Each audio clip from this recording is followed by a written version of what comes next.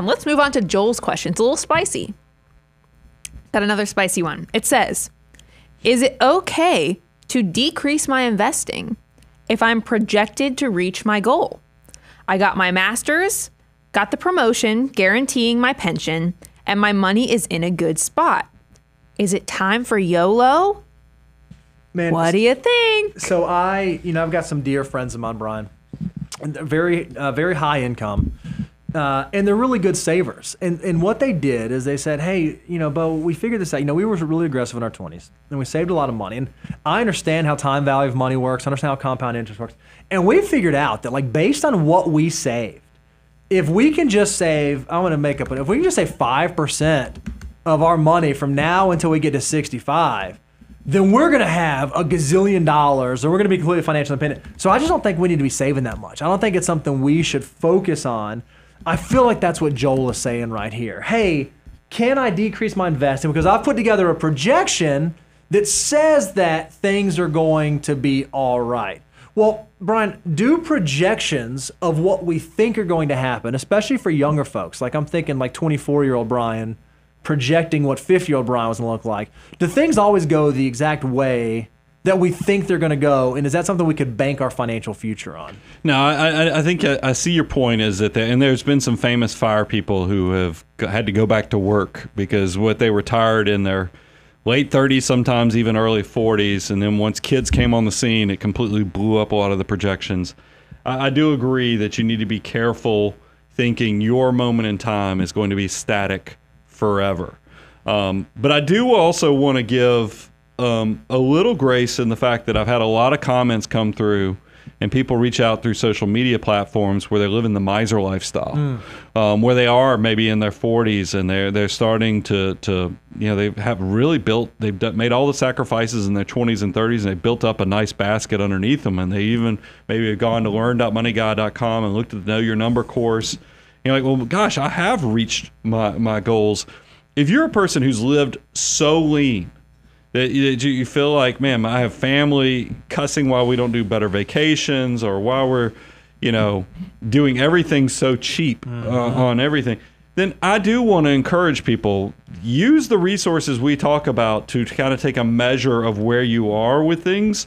But I worry about with somebody like Joel who just says, I've done some some analysis and I'm okay just doing if I start you know pulling back and going YOLO, just don't blow up your living expenses to where you now can't live off of what you know what you think you could what you projected. Because as we often get told by you you listeners is that it's not your income that matters in retirement it's the expenses. Mm-hmm.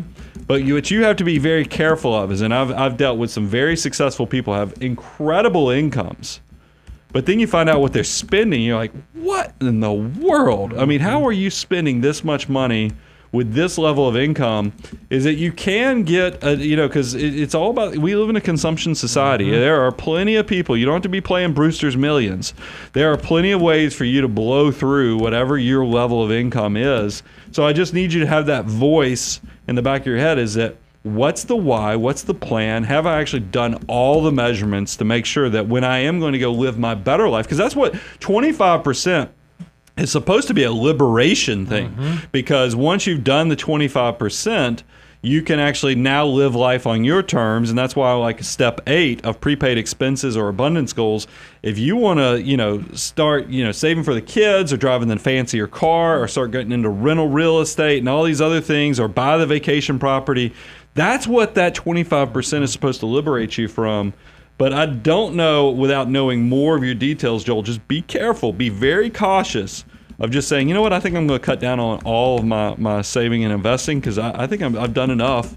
Maybe you have, but just that's something you need to measure twice, cut once on because I don't want your consumption to get to a point that, that, that what you thought was safety actually turns out to be a trap in the long term. And life kind of comes at you hard, man. Brian, you and I have had to make financial decisions uh, in, in the past couple years. Where I said, man, if our 25 year old versions of ourselves knew that these were the decisions we made, like what we thought the future was going to look like back then versus what the present day looks like, it's just very, very different. I think that happens to a lot of us, especially Joel, if you are younger and your kids aren't grown, or maybe you don't have kids yet, or maybe you know you don't have all that stuff figured out.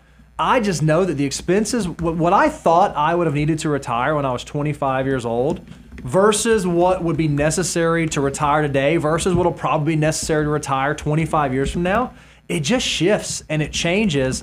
And I think that's something you should be realistic on. The good news about 25% is it will allow you to move with those changes, which I think is a beautiful, beautiful thing.